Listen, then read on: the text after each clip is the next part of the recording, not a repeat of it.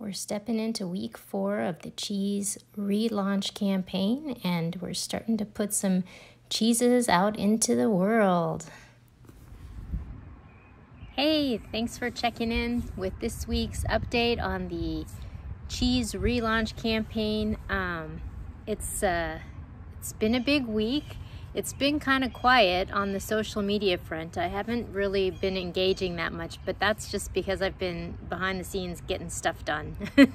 so, um, started making cheese this week because we, um, I, I announced in the last video that I passed the first milestone, which is the making cheese milestone. So, um, it's super exciting. This week I just got really down to work. So I'm just really kind of trying to put a system in place so that I can start um, you know, more efficiently uh, making cheese. Uh, but I, I started uh, making the first batches and uh, I've posted some pictures of the, the new packaging um, that I'm testing out. I'm testing out some new um, like cheese paper. So I'm just kind of wrapping them in simple cheese paper that, but it's a, uh, the cheese paper is this special Italian paper. It's supposed to restrict bacterial growth, so to extend the shelf life. So yeah, we'll see what, what people think about it. I, I th thought it was interesting and it I think it looks kind of cute and um, see what you guys think. I, I did post some pictures of it. I will be sending out the uh, cheeses for the winners of the Vegan Essentials giveaway um, this week. So those should be uh, hitting the world real soon. Um, I've also had some some really um, positive developments just in terms of um, fundraising and contacts. And yeah I've I've uh, I've heard from a lot of people in the industry and it's been really really positive and really um, hopeful. Uh, there's definitely a lot of interest um, in scaling uh, the process. So um, I will say that as far as that goes, there's kind of a big cultural gap because there's a pretty, it's a pretty wide gap between like the, what I was doing and like how big it can get. And so there's for sure a cultural gap, you know, I mean, part of it is, is, is probably, you know, just simple business. You know, I mean, at that level of business, like the values are different, you know, the culture is different. I mean, I will say that as a woman, and, and maybe this can bring up a conversation with other people, it's like, you know, the business world is a man's world. And so um, the values that are um, sort of rewarded are like, um,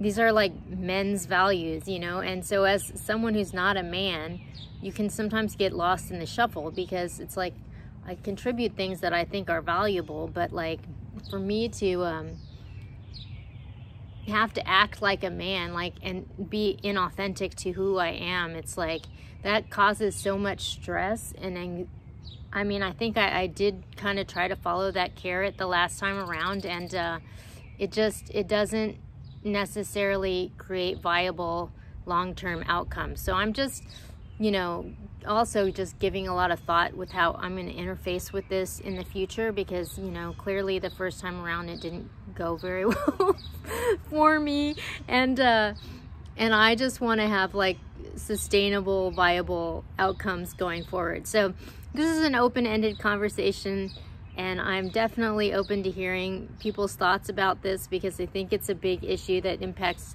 people beyond me and um, and I think it's important to just have an open conversation about this. So just putting that out there um, but you know for now I, I'm just I'm meeting this where I am and I'm just gonna start making cheese.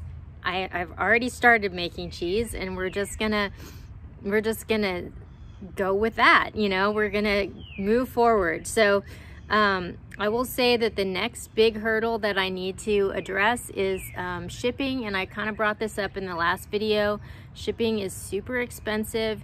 It's um, logistically difficult and, and particularly at this time of year because in the summertime it's very very expensive to ship stuff. You have to ship it faster and you have to ship it with a lot more like ice and materials so um, I, I sent like 10 cheeses to Eureka Compass Vegan Foods for the event that I talked about last week and it cost me $67 so that's not obviously viable um, so I'm just looking for solutions to that problem. So that's the next hurdle I need to overcome. So there's a couple different things, you know, I'm looking at third-party shippers. I mean, the partnership that I did with Vegan Essentials was super viable. And, and a lot of it is because Vegan Essentials is, you know, they're a large internet retailer, so they have a volume shipping discount.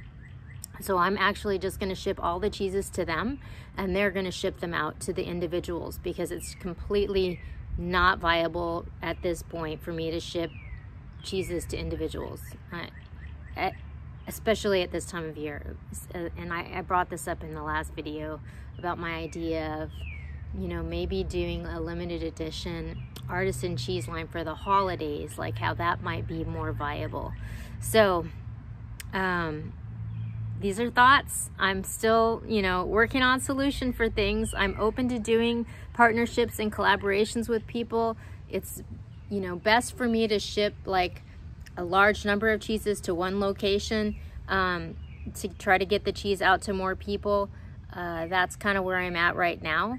But, uh, you know, every week this thing is evolving and uh, it's been a beautiful process and I'm just happy to be back to work on the ground making cheese. So I'll uh, check in probably not till next week because I think this weekly rhythm is, is good. But you might hear from me um, with regard to this, uh, my new wellness platform, Asian Warrior Princess, because I'm starting to do some um, some gardening videos, which I'm excited about. So um, I want to share that experience with you as well. So um, until next time, uh, keep it real and uh, we'll see you soon.